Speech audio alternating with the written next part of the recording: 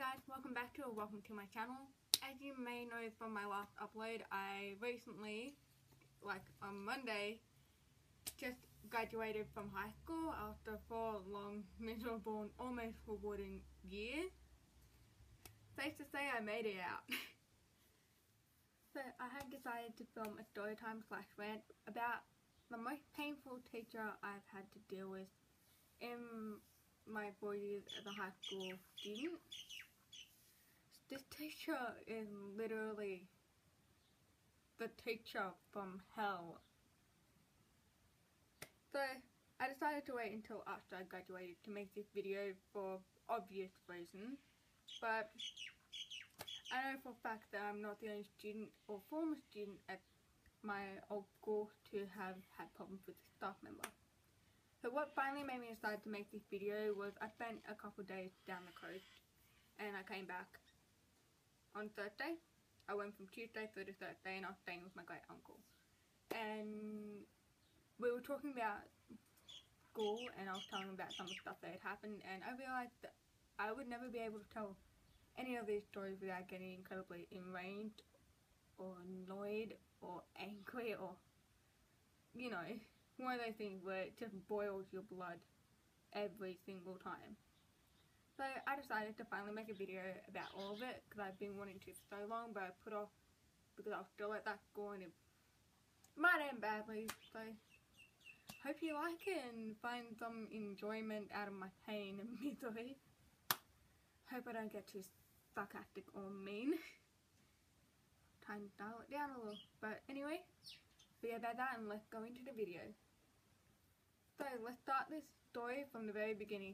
Once upon a time, a long time ago, or four years ago, I started at this school. And did I meet anyone who but this lovely human being who somehow happened to hate my mother without even knowing her. So, you may be wondering why I'm looking in front of me. I'm looking down at everything I've written. There have been so many different incidences and things that happened that I couldn't remember at all, so I had to speak to my mom and my mates to remember everything. And I literally wrote down everything so that I would remember. Hopefully, this doesn't turn into a full fledged therapy session, but I probably need it. Plus, this is free. So, when I was in year 7, my mom would occasionally ring or email to school to find out information about certain things like excursion, learning plan, class, class changes, and my ILP because I was on an individual learning plan because of my hearing loss. And so the school would always redirect her to this staff member, but this staff member would never answer my mom's emails or calls and would wait weeks before sending my mom or getting someone else to send my mom an email on her behalf. Like just refused to talk to my mother or acknowledge her existence.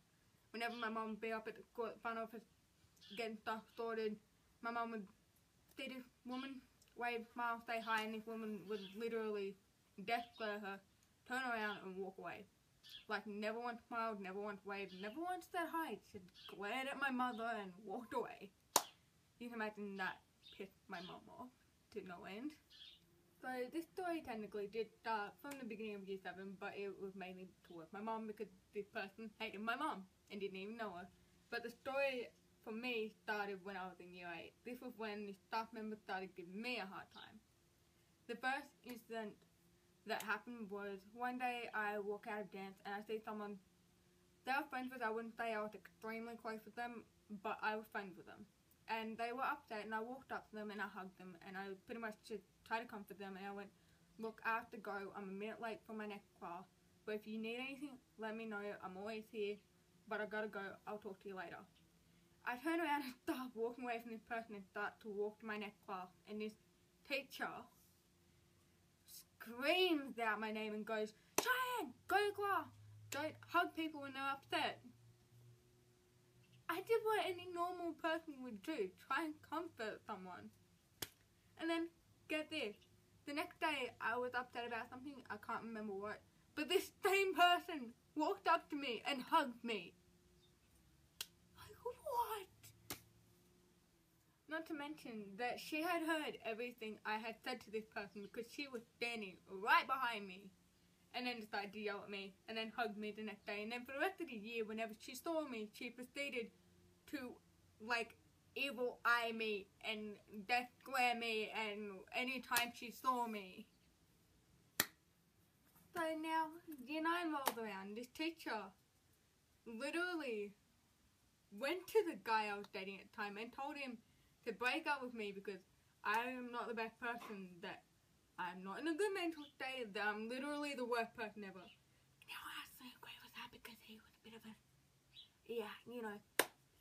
But um so he told me this and on the same day she did something that really pissed me off. So he told me this in the morning and then I think halfway through the day I got upset because and you will understand why I got upset in a second, I promise. So, we were talking about a police force in one of my classes, and I got a little bit upset. And at the end of the class, I walked down, I stood by myself for a second, and she went, I'm okay, let's go. This teacher finds me and sees me and tries to force me to talk to her, and I'm going, like, no, I'm fine, I'm okay, um, I don't really want to talk about it, it's extremely personal. And I'm trying to go to my next class. In the end, she made me go to her office with her. I still wouldn't talk for about 10 minutes until, in the end, she forced me to talk. And I finally told her, yeah, I'm a little bit upset because we were talking about the police force in my last class. And it just made me miss my great, well, not my great grandpa, but my great grandpa and my pop, my great grandpa was a mechanic in the war, and we were also talking about the military forces. And then we were talking about police force, which my grandpa was a part of, and he died. At this point in time, it had been five or six years since he died, and I said it just made me miss him a little. She dead ass turned around and looked at me in the face and said, if you're still dealing with or grieving that loss from that long ago, you need help. I don't know if I do need help for that. I know I need help for other things, but I thought it was a normal human emotion to miss someone who is no longer with them when something about them comes up. Why?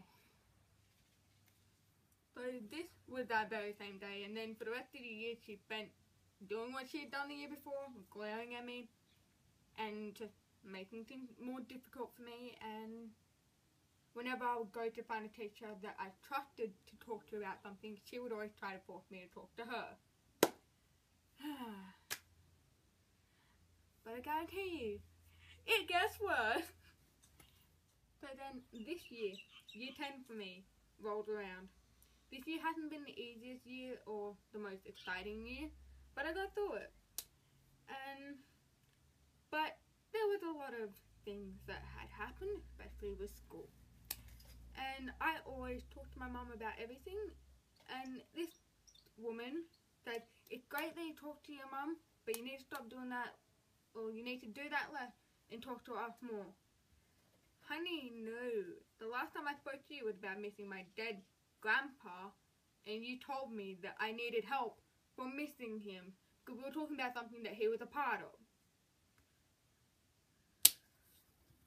So, one of the main incidents that happened this year with the SOSED staff member was um, towards the end of semester two, I was, well, not the end, more like the end of term three, I was in the library doing my English assignment.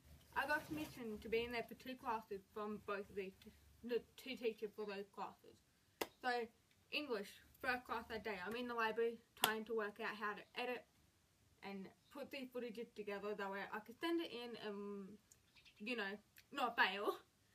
And so the day before we had, my group and I finally managed to get everything filmed for this assignment and the next day I was the only person there. So it was up to me to solely edit, put it together, and send it in. And I couldn't find a way to do it because everything was on my Google Chromebook. So I spent the first class in it with another friend of mine, Josh, who thank God for his soul for trying to help me. And he's in. The, we're in there trying to get it done. He's normally meant to be in the library, and I just walked in, and this teacher walked past and goes, "Why are you in here?" Showed her to know I have my English teacher to say I was allowed to be in there to work on my assignment. So that's all good gold coming out of her, you know. So she walks away, leaves us alone. The next class I am in there trying to do the same stuff. It was dance. So I had permission from my dance teacher and my English teacher to be in there for that line to get this assignment done because it was due that day. I'm in there trying to get this done and my best mate and my boyfriend walk in. They're getting in trouble by this teacher and another teacher for not being in their classroom. They're telling the, te- the two teachers why they don't want to be in their classroom, that they don't like it in their classrooms, everyone's being jerks to them, they just want to be in here alone, get their work done, and not have to worry about people being jerks. Teacher doesn't like that, and the other teacher that was in there was the teacher that liked me, and this um female teacher who hated me for the last three or four years turns out and goes, Why are you in here? You were in here last lesson. And I went, I'm trying to do my assignment. She goes, But you were in here last lesson doing your assignment. And I went, Well, I need it done due today and I can't figure out how to get anything done. Sorry if that is inconvenient, but it needs to be done. So she leaves me alone for a minute. After trying to get this teacher who likes me to turn on me and be a jerk to me, and he goes, "Wait, you in here?" I'm like, "Look, I haven't known." He goes, "Okay." He leaves me alone, and I go back and do my work.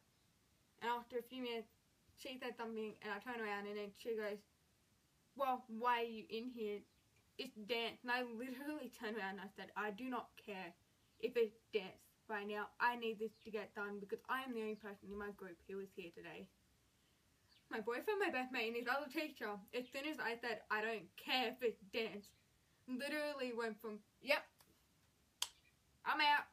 I'm not dealing with her. You know bad if she's saying that. And they literally just went from, oh God, don't push her there. And then she pushed me there and it's like, yep, I'm out.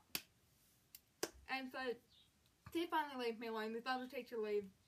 The, my boyfriend and my best mate are allowed to stay in the library. They're doing their work and I'm sitting at a table by myself and this other girl work, walked in who's meant to be in there. It's an offline floor.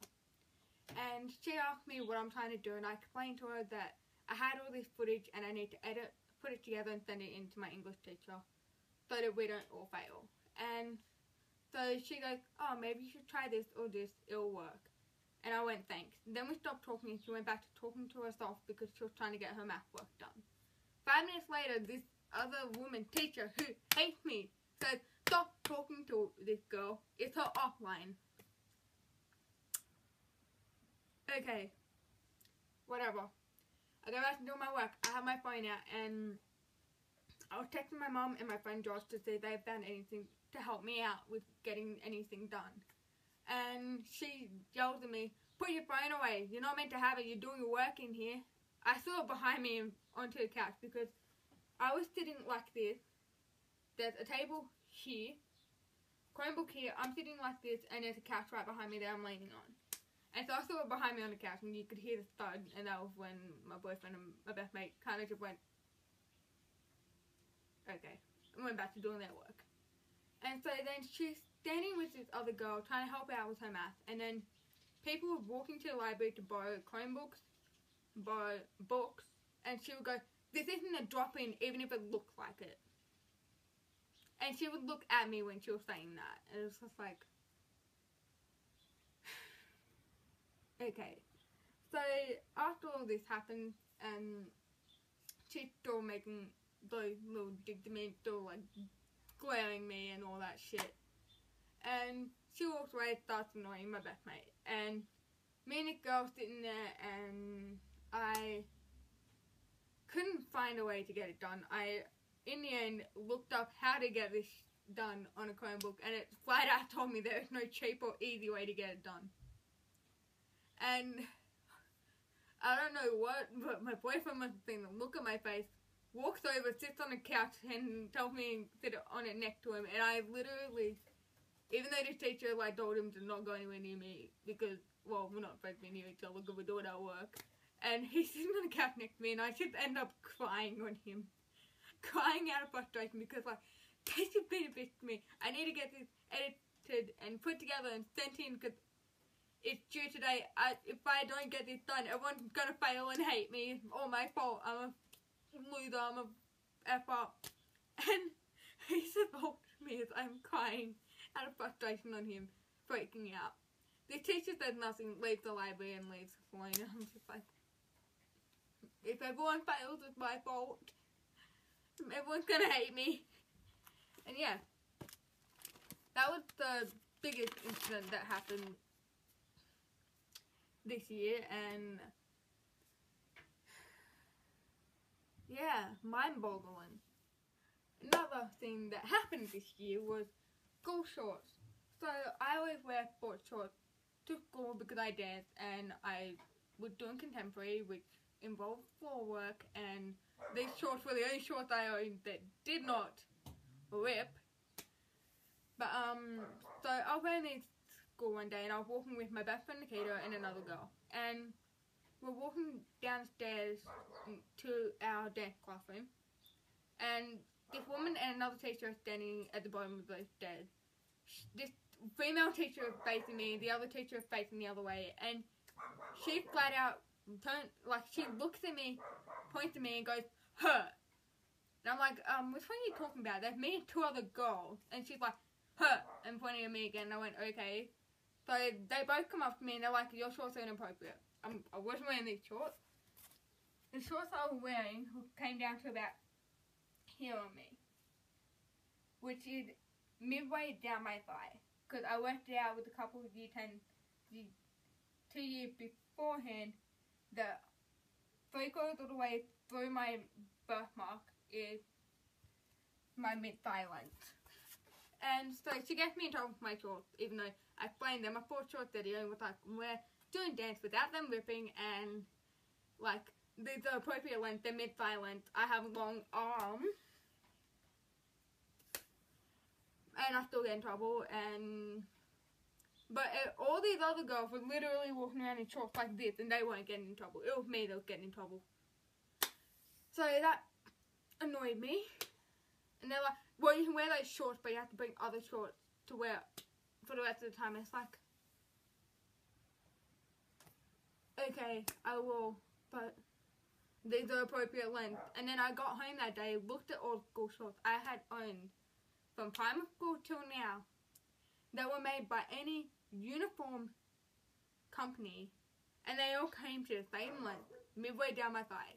Is she telling me that shorts that are made by actual uniform companies and shops that sell school uniform are inappropriate length? Because if they were, I'm pretty sure primary school would have been on that first. Then towards the end of the year, everyone's getting excited because the end of the year is end of year 10. We all get to graduate. We're all going formal. Woohoo! We're all excited. And but this one day, my math class got really loud. I got permission from my math teacher to go into the library and work with quiet. I barely put my hand on the doorknob to the library and this woman screams out, Cheyenne, go to class. You're not meant to be in there. Go to class. Do I have to tell you again? I'm like, I have permission from my teacher to be here. Go to class. I don't care. So I turn around and walk away and instead of going to class, I told my teacher gave me permission to work out in the corridor where it was quieter. I don't know what the boys in that class were doing, but all I know was they were either getting murdered, beating each other up, or just leaning back on the wall really hard with their chair because every five seconds the wall was doing this. And so I was sitting there with my Chromebook trying to do my math work, and every five seconds I'm like,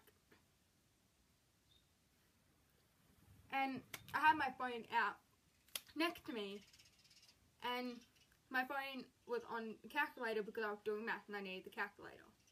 And I'm going to show you. I'll be back in a second.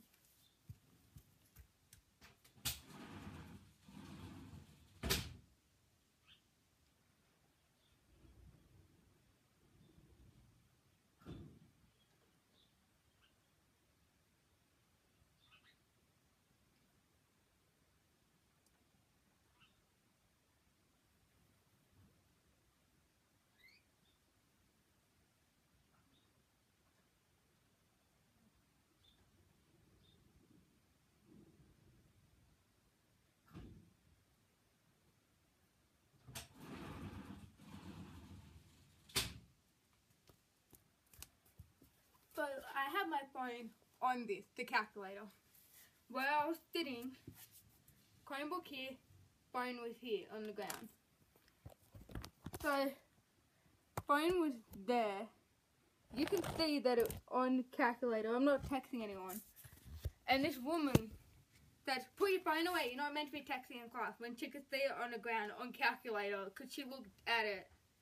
And like she saw me doing this typing in the math equation that I needed to get the answer for whatever I was doing. So I turn off my phone and then turn it back on to use it again for another thing. And right when she walked away, she stickenly, sweetly said, Thank you, Cheyenne, and walked away. That frustrated me. Really bad. And then within the last week of school, none of the year 10s really had any work to do because everything had been marked already.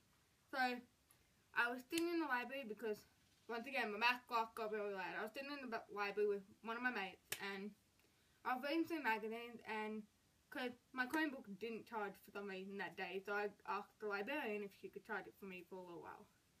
So she had been charging it the whole time I was in there, and then she must have left when I wasn't paying attention. But I put away the car magazines I was reading and walk over to her and walk to the office, said if she wasn't there, and then I walk back I was sitting to grab my bag and this woman goes, why are you in here? My math class got loud and I had permission from my teacher to be here. Oh, okay, well, duh, why were you here? Because it got loud and yeah, and there's not really any work for the year 10 to do and she, the principal was sitting next to her this time and she kind of laid back on me a little bit and she goes, well, what are you doing now? She's like, well, I was going to get my Chromebook back from the librarian, but she's not here. I'll come back and get it later. And she goes, mm. And I say, hi, principal. Then walk out with my mate. Yeah, so that was literally my experiences four years with the teacher from hell. Now, just imagine aside from all these things, every day, whenever she sees me, whenever she walks past me, she glares me or she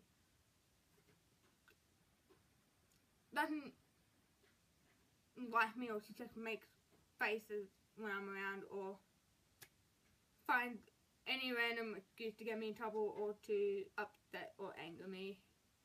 But I'm glad to have graduated now and I'm glad to be it. But I just thought this would be a great story time to make and go if you're dealing with any of these teachers, you can make it. I promise you. It may seem hard. You may want to yell at them. You may want to hit them. Don't hit them. If they're really annoying you, you can yell if you want, if they're pushing you to that point. But you will make it. I promise. And they may not like that you make it, but be proud of yourself you will make it. So that's it for today's upload. Make sure to subscribe and hit the post notification bell and like this video and comment down below. Sorry this wasn't a more interesting or more diplomatic or fun video, but hope you guys enjoyed it and I hope it, if anything you take from it that may be hard and it may be making your life hell, but persevering you will make it. Anyway, I love you guys so much. Thanks for the, taking the time to watch this video and for you know, even caring about me and my channel and my videos. But, um, comment down below what you would like to see from that, for my next upload, which will most likely be a Christmas upload. But, yeah, I hope you guys have an amazing day, and I hope you guys somewhat like this video, and, yeah, peace out.